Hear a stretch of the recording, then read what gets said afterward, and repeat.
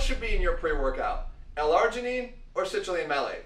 I'm going to try to answer that question for you here in a very simple way today. I'm going to try to get simple even though we have some complex things that happen inside of our bodies. That's my promise because I think if we can make it simple and understandable, then it's something you can actually grasp and gives you a better understanding when you approach supplementation. So L-arginine, let's start there. Why do people take it in the first place? Well, the argument is that we were trying to increase nitric oxide. And nitric oxide is a vasodilator. It has a vasodilating effect in our bodies, which will increase the muscle pump. And that's why people will rely on these types of uh, ingredients in a pre-workout. So we get nitric oxide from here, and we get citrulline. And we do that with an enzyme that's in our body. Now, what we have is the citrulline can actually be converted back by another enzyme back to L-arginine. This all looks so great. But the problem is, this is what's happening in our bloodstream. When the L-arginine is in our bloodstream, this is what's going on. But guess what? We got to get it into the damn bloodstream to start. And that's the problem because unless we're taking this via intravenously, which I hope you're not, then we're going to have a hard time getting this to the bloodstream because it has to go through our digestive tract. And when it does, it goes down a different path. It goes down this other path that enters the urea cycle. So here the L-arginine gets broken down into ornithine, which is a amino acid. My handwriting sucks, I know that. And it also gets broken down into urea, which is a waste product. The ornithine can actually be converted back into citrulline, and the citrulline can be converted into L-arginine again. But you can see that this isn't a very efficient way to get to nitric oxide. So what happens is when you take L-arginine by mouth in a supplement, you're losing a whole hell of a lot of it. Matter of fact, you're only retaining, studies will show about 30% of what you're taking in in the first place. So even if you're taking a massive dose of 10 grams of L-arginine, you're only actually winding up with about 3 grams of it. So that's not actually very good. As a matter of fact, there was another study that showed guys that have high cholesterol were only maybe retaining up to 1%. 99% wasting of this taken this way.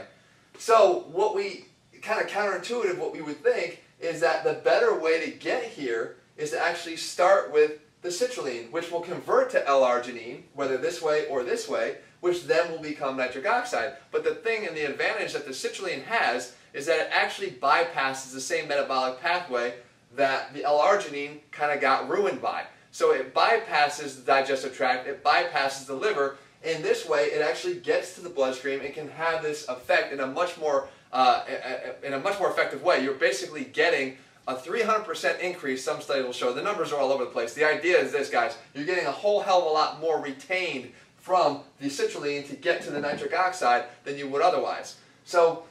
The, the, it doesn't even really end there because we're talking about citrulline here and, and supplementing with citrulline malate.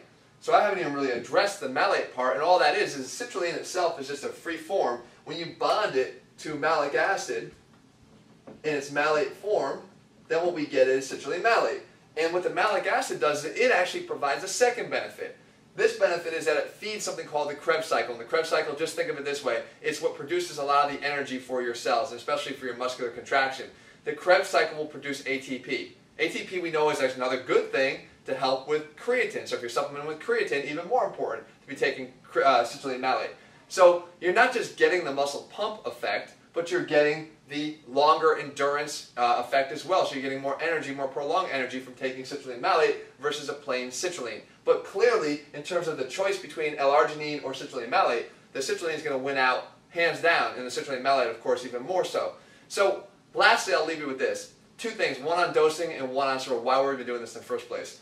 The idea behind the muscle pump, it's a lot more than vanity, guys. The muscle pump is actually, the nitric oxide itself is creating a vasodilation. It's letting this, the muscles that kind of surround our arterial walls to, to loosen a little bit so that you get a, a, a larger vessel. That will allow more blood to flow through, that will go to your working muscles, and help you to train at a higher or harder level. The idea is also the fact that in your blood, since it's composed predominantly of water, you're getting a lot more hydration of those muscles as well. So that's one of the main benefits. It's not just feeling pumped, but it's actually getting uh, more nutrients and more water to those working muscles.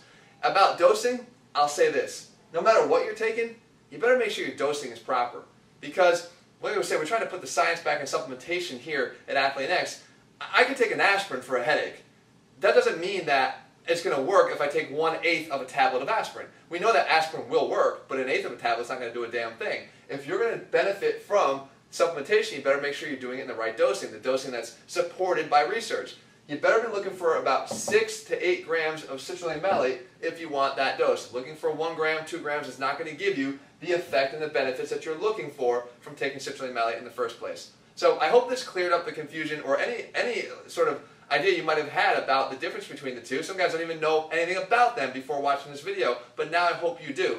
If you are looking for supplements that put the science back into supplementation, guys, I say it all the time, here at Athlean X, we try to back up what we do. And not just sit here and talk, but educate you as to why, because I think the more informed you are, the better you're going to be in terms of making the right decision for you.